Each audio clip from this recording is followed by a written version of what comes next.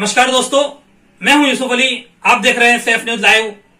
आइए देखते हैं आज की खास खबर। से क्या काम किया बता क्या क्या कुछ भी नहीं किया सिर्फ़ भात पकड़ा बस। और कुछ अभी क्या बोला? उसको किस किया? नहीं किया कुछ नहीं किया सिर्फ़ भात किया बस। क्यों? किया? दो मिनट दो मिनट दो मिनट। कर रहा था ना? पैंट उतारा। नहीं नहीं पैंट नहीं उतारा। उतारा नहीं नहीं नहीं। उतारा कि नहीं उतारा? नहीं नहीं नहीं। तूने किस कैसे किया बता?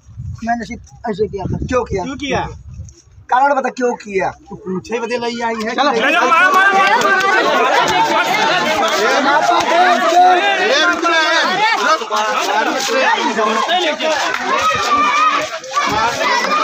नाबालिग बच्ची के साथ गलत हरकत करने का प्रयत्न करने वाले आरोपी को क्षेत्रवासियों ने सिखाया सबक आरोपी पर छुट्टे पैसे का लालच देकर बच्ची को फुसलाने व गलत हरकत करने का लगा आरोप पालघर ज़िले के नायगांव की घटना घटना की जानकारी पर बढ़ के क्षेत्रवासियों ने आरोपी की कर दी धुनाई।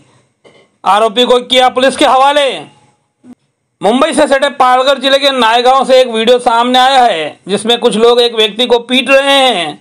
यह घटना नायगांव में आज सुबह तब घटित हुई, जब वीडियो में दिखाई देने वाले शख्स ने एक सात साल की नाबालिग लड़की के साथ कुकर्म करने की कोशिश की। मिली जानकारी के अनुसार वीडियो में दिखाई देने वाला आरोपी, जिसका नाम नूरुल हसन बताया गया है उसने सुबह के 10 बजे करीब नायगांव पूर्व अंतर्गत गणेश नगर परिसर में दुकान पर छुट्टे पैसे लेने गई। सात वर्षीय बच्ची को लालच देते हुए बच्ची के साथ कुकर्म करने की कोशिश की।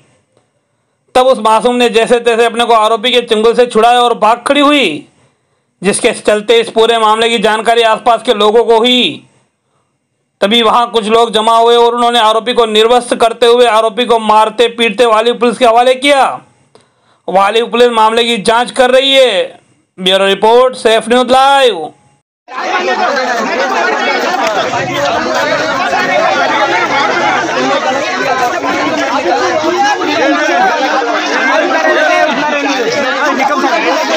छोड़ना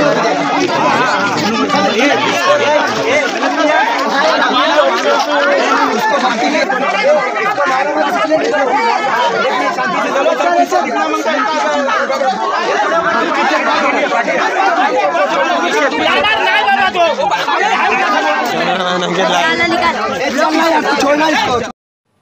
हमारे चैनल सेफ़ न्यूज़ लाइव पे अपने व्यापार एवं सेवा से संबंधित विज्ञापन हेतु mobile number seven three eight five nine five two seven eight six अथवा seven seven three eight two six seven seven eight six पर संपर्क करें।